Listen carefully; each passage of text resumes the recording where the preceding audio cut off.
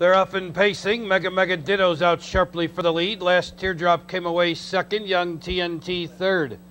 In fourth is Stumptown Boy. Silky Starship fifth. Cody Wood sixth. Clear My Way seventh. In eighth position, Heart Sleeper. Safari Joe at the end. Seventh race, Pacers move on to the backstretch, and your leader by two. Mega Mega Dittos racing in second. Last Teardrop two lengths back to Young TNT third.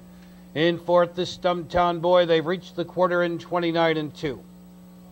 Up the backstretch they go. Mega Mega Dittos leads by two, racing in second. Last Teardrop, three lengths back to Young TNT, gapping third, racing in fourth. Stumptown Boy, Silky Starship out and going from fifth, and he's looking for cover and now gets it from Stumptown Boy.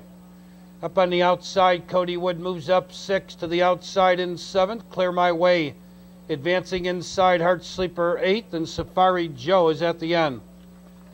Halfway home, 58 and 1, and around the turn they go in the second leg of the cash back super bet. Your leader by two.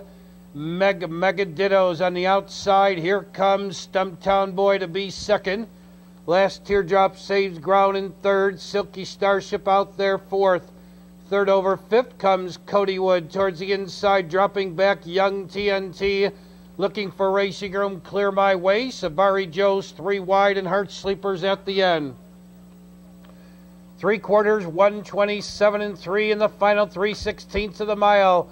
Mega Mega Dittos leads by two. Stumptown Boys trying to come on second, but not cutting into the margin at this point in time.